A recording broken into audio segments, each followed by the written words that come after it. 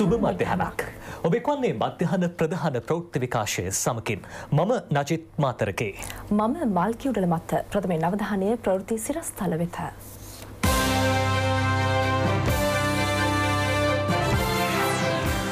සුළගේ වේගය වැඩිවිය හැකි බවට කාලගුණයෙන් අනාවැකි. ශ්‍රී ලංකාවට ප්‍රතිලාභ රැසක් අත්කරදුන් ඉතාලි සහ ජෝජයා නිල සංචාර නිමවා ජනපති යළිදිවයිනට. ගම්පෙරලිය සංවර්ධන ව්‍යාපෘති සාර්ථකව ඉදිරියට. ඉන්දියාවේ තවත් දේශපාලන කුණාටුවක්. ටෙස්ට් ක්‍රිකට් වාර්තා අලුත්වෙයි.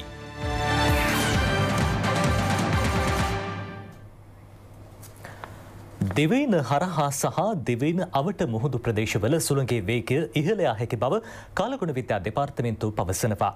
මේ නිසා විශේෂෙන් දෙහිවර සහ නාවික කටයුතු වලදී සැලකිලිමත් වන ලෙස එම දෙපාර්තමෙන්තු දන්වා සිටිනවා.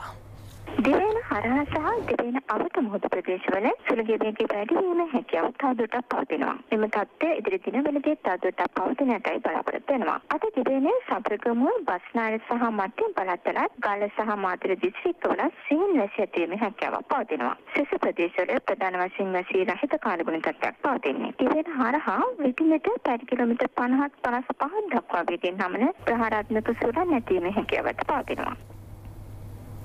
ඉතාලියේ සහ ජෝජයාවේ නිල සංචාර සාර්ථකව නිම කර ජනාධිපතිතුමා අද පෙරවරුවේ දිවයිනට පැමිණියා.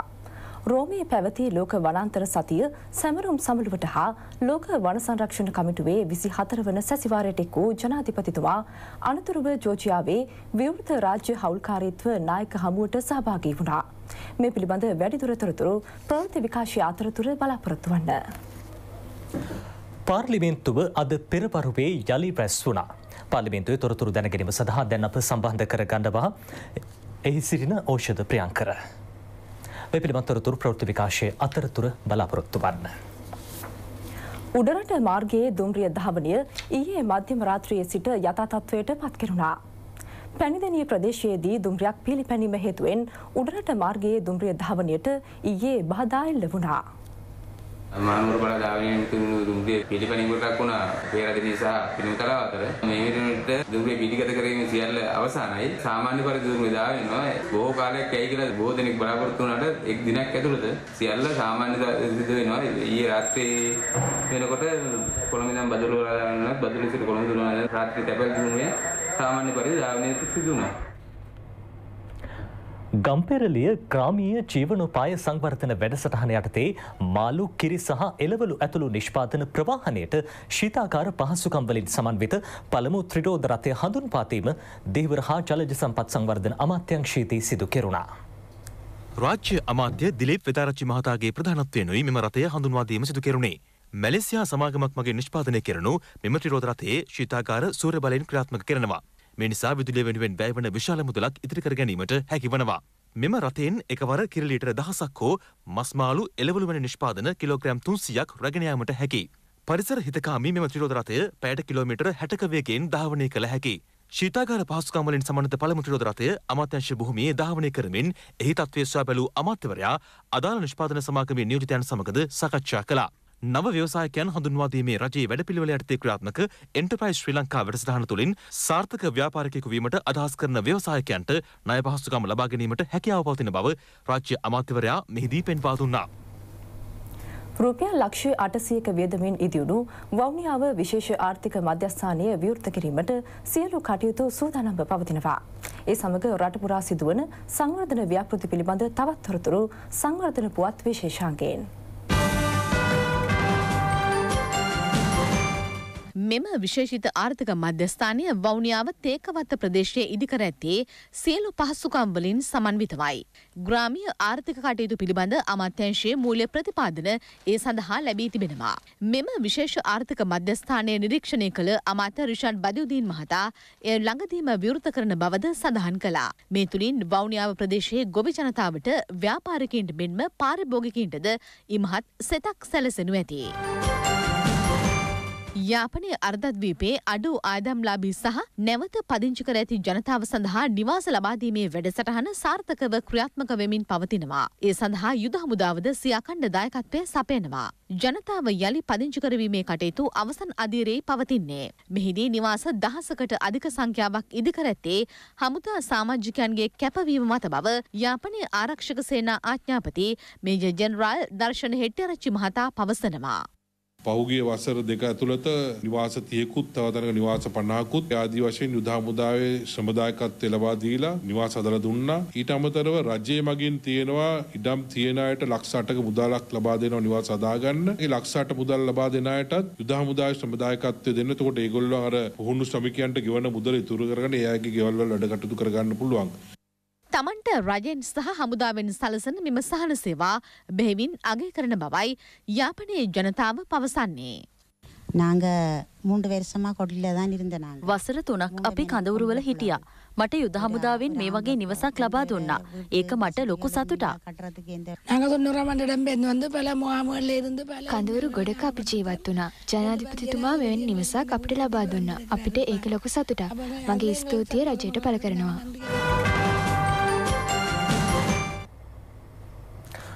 රජය විවේචනය කිරීමට බොහෝ පිරිසක් සිටියද රජයේ ප්‍රගතිශීලී කටයුතු සම්බන්ධයෙන් කතා කිරීමට කිසි වෙකුත් නැති බව රාජ්‍ය අමාත්‍ය වසන්ත සේනනායක මහතා පවසනවා.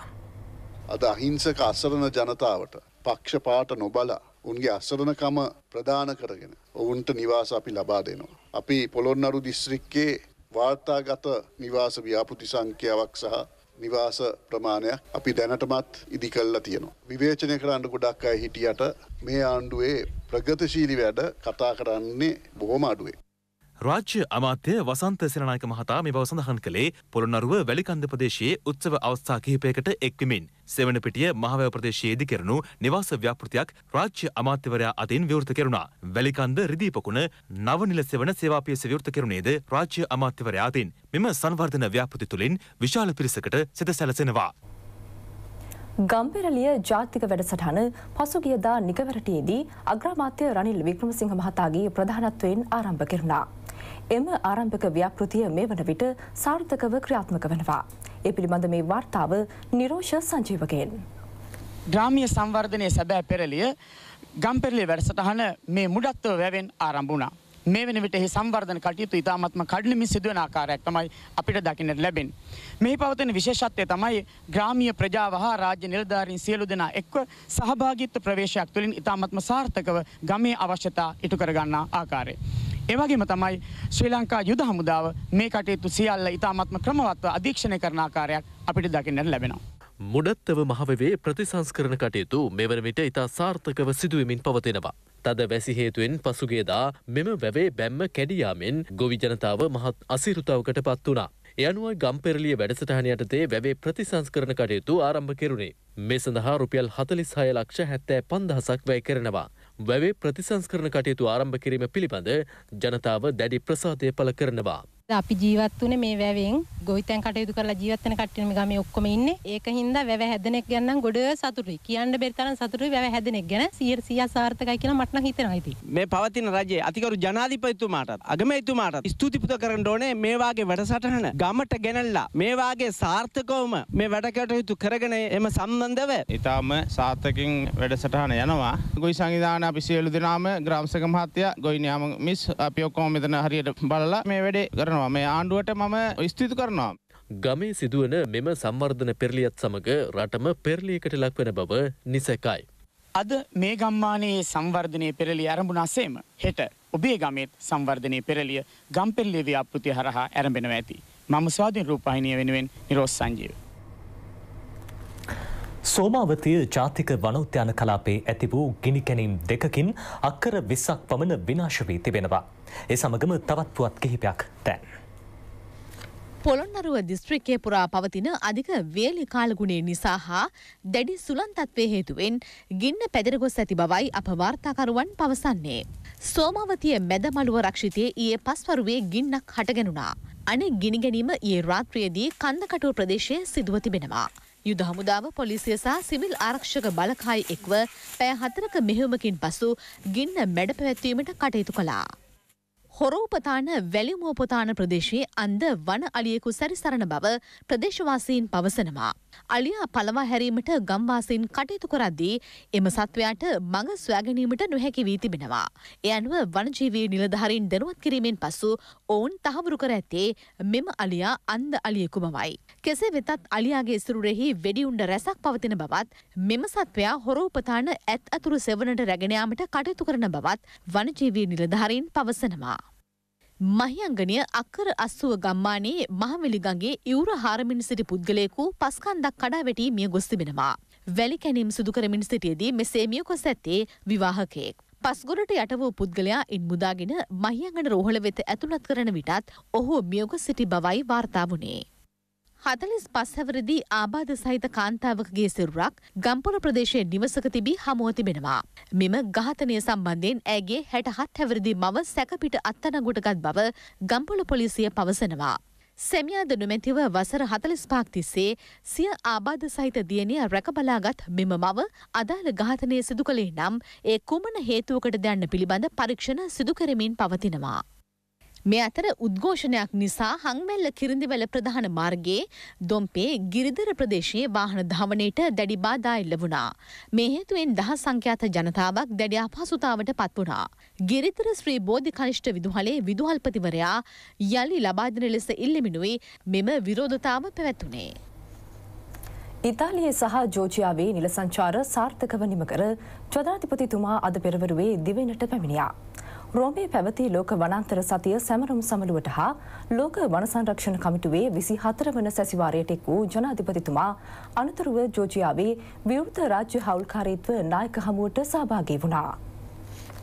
ශ්‍රී ලංකාව දියුණු ප්‍රජාතන්ත්‍රවාදී රටක් බවට ලොව තුළ විශ්වාසය ගොඩනගමින් යන ගමනේ තවත් අතිසාර්ථක සංචාරයක් ලෙස ජනාධිපතිතුමාගේ මෙම සංචාරය තුළ රටට ප්‍රතිලාභ රසක් උදාවනු ඇතැයි ජනාධිපති මාධ්‍ය අංශය නිවේදනය කළා.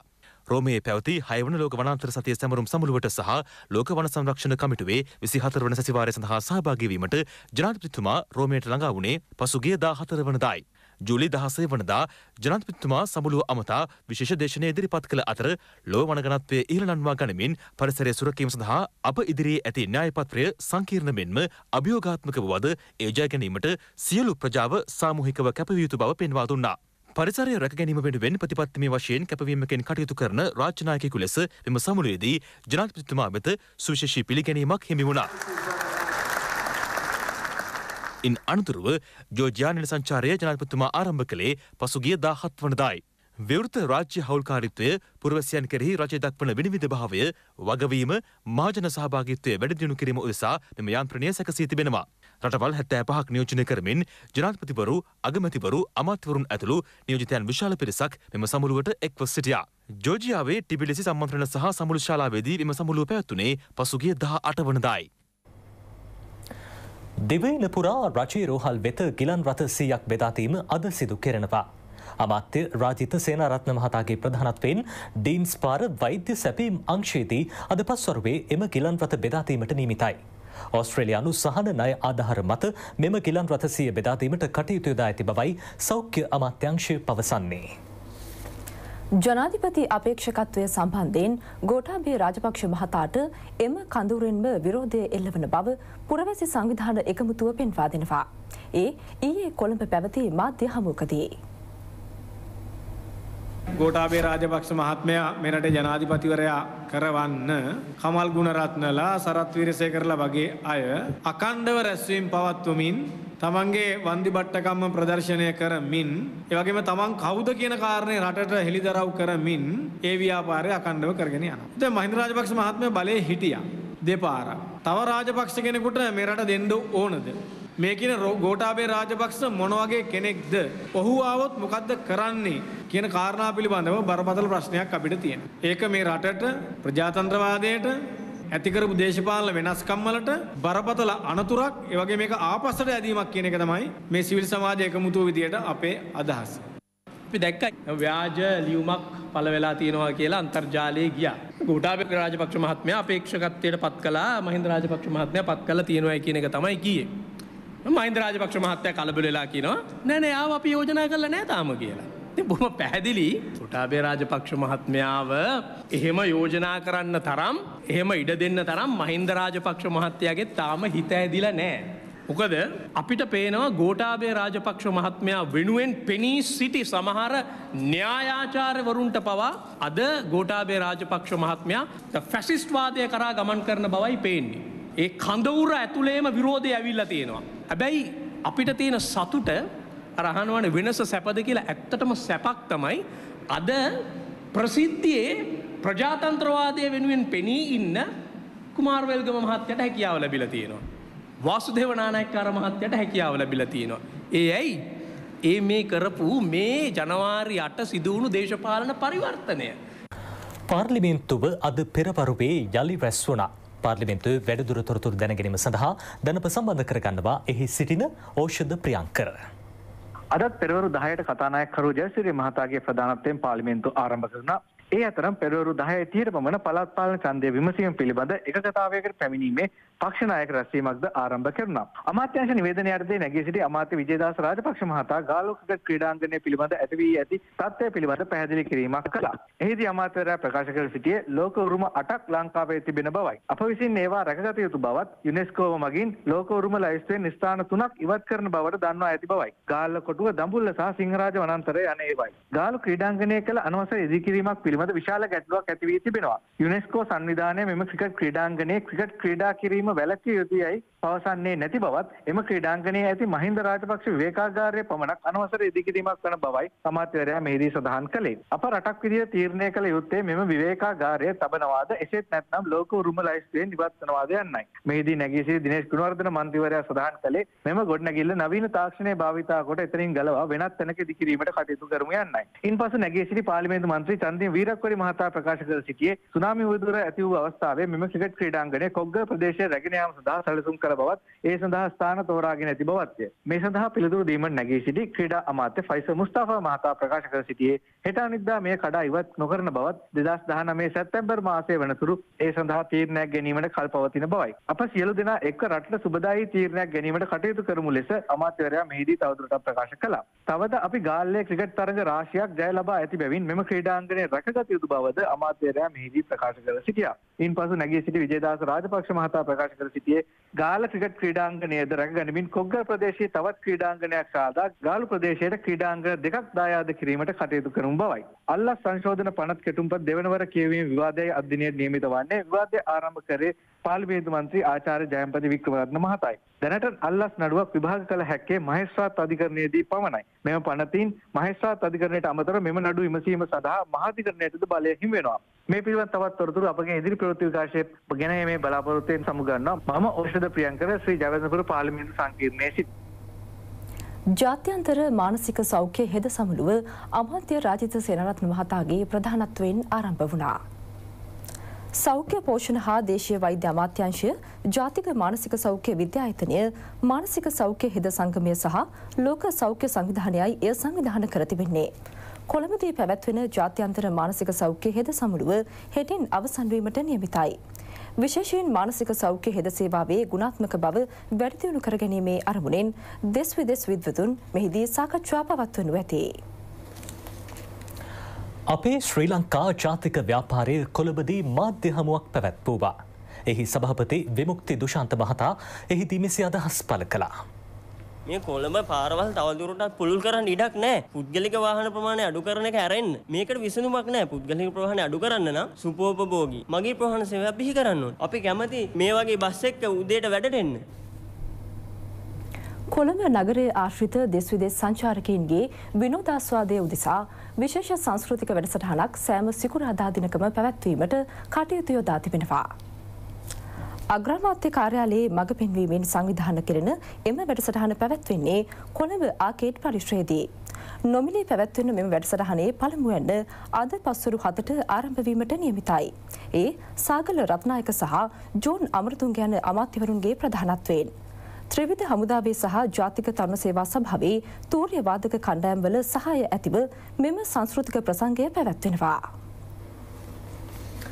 මෙ අතර ජාත්‍යන්තර ගිටාර් සංවිධනය කොළඹදී පැවැත්වුණා. ශ්‍රී ලංකා ගිටාර් වාදකීන්ගේ සංගමය අටවන වරටයි ජාත්‍යන්තර ගිටාර් සංධවනීය පැවැත්වූයේ. ශාස්ත්‍රීය ගිටාර් වාදන මෙම ප්‍රසංගයට ඇතුළත් වුණා. සංස්කෘතික දෙපාර්තමේන්තුව හා එක්ව දිවේනේ ප්‍රදේශ කිහිපයකදී මීට පෙරද ගිටාර් සංධවනී පැවැත්වුණා.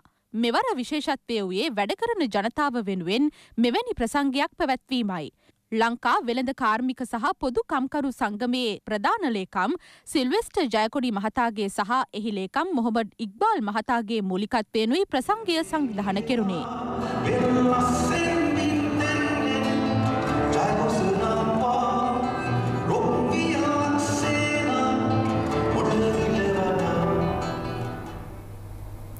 ITN පුත්තලම දිස්ත්‍රික් මාධ්‍යවේදියෙකු වන සිය සුදේශ් ආනන්ද ප්‍රනාන්දු මහතා හදිසියේ අභව ප්‍රාප්ත වුණා. මෙය යන විට ඒ මහතා පනස් වන වීහි පසු වුණා. වෙන්න පුව ජෝෂප් වාස් විදුහලින් අධ්‍යාපනය ලබා කැමරා ශිල්පියකු ලෙස කටයුතු කරමින් සිටි සුදේශ් ආනන්ද පසුව ITN පුත්තලම දිස්ත්‍රික් මාධ්‍යවේදියෙකු ලෙස පත් වුණා. තිදරු පියකු වන ඔහුගේ දේහය වයිකාලේ පිහිටි ඒ මහතාගේ නිවසේ තැන්පත් කර තිබෙනවා. පුත්තලම දිස්ත්‍රික් අයිටන් මාධ්‍යවේදී අභාර ප්‍රාප්ත සුදේශ් ආනන්ද ප්‍රනන්දු මහතාගේ දේහය පිළිබඳ අවසන් කටයුතු හෙට පස්සරු හතරට වයිකාල රෝමානු කතෝලික සුසාන භූමියේදී සිදු කිරීමට නියමිතයි. අපගේ මධ්‍යහන ප්‍රධාන ප්‍රෝට්ට විකාශය අවසන් වනවා. පසුරු දෙකේ සිට පැන් පැපුවත් විකාශය බලාපොරොත්තු වන්න. ITN ප්‍රෘති සවිස්තරාත්මක දැනකැනීම සඳහා www.itnews.lk වෙත පිවිසන්න. සුබ මධ්‍යහනක්.